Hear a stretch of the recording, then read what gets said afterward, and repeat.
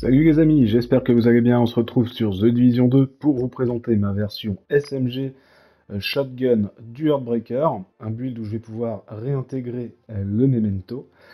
En soi, euh, pour ceux qui connaissent un petit peu la chaîne, vous savez que le Memento, c'est un petit peu la pièce qui revient dans quasiment tous les builds, ou presque, hein, que j'avais monté. Euh, donc ça me fait plaisir de pouvoir le réintégrer au Heartbreaker, et pour pouvoir le réintégrer sans trop de heurts sur les statistiques, notamment sur la probabilité de coup critique, car avec un fusil d'assaut, on va perdre forcément les 21% de probabilité de coup critique des SMG, et donc il va falloir baisser drastiquement les dégâts critiques. Euh, par exemple, si on veut inclure un tueur de roi dans cette, dans cette config, bien sûr ça peut rentrer, et puis bon, vu que là on est sur un build Memento, on va devoir rusher pour aller chercher les médailles au corps à corps. On est donc sur un combo courte portée, avec un ACS qui vous avez vu est complètement pété pour monter les stacks du Heartbreaker, ce qui va être très important parce que là on se passe du sac, donc qui augmente euh, euh, le, bonus hein, du Heartbreaker à 2% par balle au lieu de 1.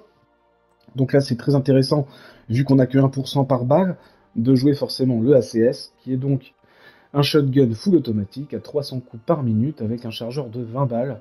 Bien sûr, si vous avez un petit peu la motive euh, que je n'ai pas eu, c'est d'aller chercher la version nommée euh, de ce shotgun, qui est donc en Dark Zone et qui lui monte à 30 balles dans le chargeur, donc qui est encore mieux, il s'appelle le Rock'n'Roll. Pour la SMG, moi je pars sur l'UMP 45 tactique, qui est une arme que j'affectionne particulièrement, car là on n'est pas sur l'artilleur, on est sur le technicien. Donc si vous avez déjà regardé un petit peu d'autres vidéos build, vous avez forcément dû entendre parler du laser scan, hein, qui est ce fameux accessoire du technicien, que vous venez placer euh, sous le canon euh, de certaines armes, ça marche pas pour toutes les SMG, l'UMP45 est compatible, euh, donc c'est pour ça que je suis parti sur cette arme-là, et aussi pour son faible CPM et ses gros dégâts, parce que du coup l'avantage, eh ben, c'est qu'en termes d'économie de munitions, on est plutôt bien, parce que moi je suis quelqu'un qui est plutôt l'habitude de jouer en artilleur et d'avoir un regain toutes les minutes de munitions, et avec euh, celui-là, à 600 coups par minute, c'est assez lent, et du coup, bah, on peut facilement faire une mission sans jamais passer par les boîtes de mun. Alors bien sûr, ça, ça reste ma... pour mon confort personnel, parce que moi, je préfère jouer l'économie. Bien sûr, si vous avez euh, des SMG compatibles avec le laser scan et un plus fort CPM, il n'y a pas de souci. De toute façon, il faut juste trouver les catégories compatibles. Je sais que les UMP 45 et les Vector, euh, tout ce qui est 45 ACP est compatible avec le laser. Donc à partir de là, euh, vous voyez un petit peu euh, ce que vous voulez utiliser par rapport à votre goût. Euh, pour le shotgun, ce qui est intéressant, c'est qu'on peut aussi lui mettre le laser. Donc là, en fait, les deux armes sont compatibles. Donc ça, c'est très très bonne, très très bonne synergie à ce niveau-là. La protection bonus va être la clé hein, de ce build, avec donc la possibilité de monter les 100% de protection très rapidement, hein, en un seul chargeur, donc en 3 secondes hein, à peine. Et en plus, on va avoir une deuxième protection bonus cumulable, avec le memento ainsi que 30% de dégâts d'armes, de la régène de protection et un fameux tiers de compétences gratuit. Donc ça c'est très fort.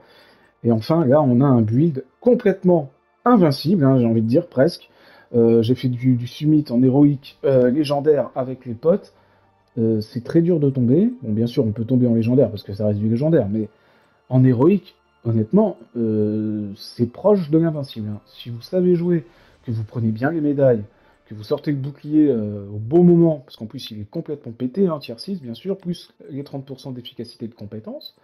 Donc du coup on a un bouclier à quasiment 6 millions, 5 millions 7 je crois avec les stacks, du memento, donc c'est complètement pété. En plus on a une ruche de Réa, parce qu'on n'a pas besoin de jouer le scanner du coup.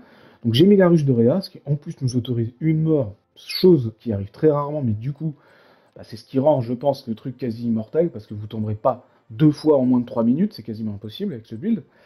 Donc en héroïque, c'est une promenade de santé, et les dégâts du Heartbreaker qui sont complètement craqués, cumulés à l'UMP45, en fait on a l'impression de transformer l'héroïque en mode histoire. Euh, vous avez vu dans la capture, c'est n'importe quoi. Ensuite, on va parler un petit peu des stats. On est sur protection, dégâts critiques partout. Donc ici, le torse, le Huxler, les genouillères. On va utiliser une pièce SK Viroba qui va nous dégager un petit peu de probabilité de coup critique, avec du dégât crit, forcément, et donc trois modes en dégâts critiques sur le sac, sur le masque et sur le torse.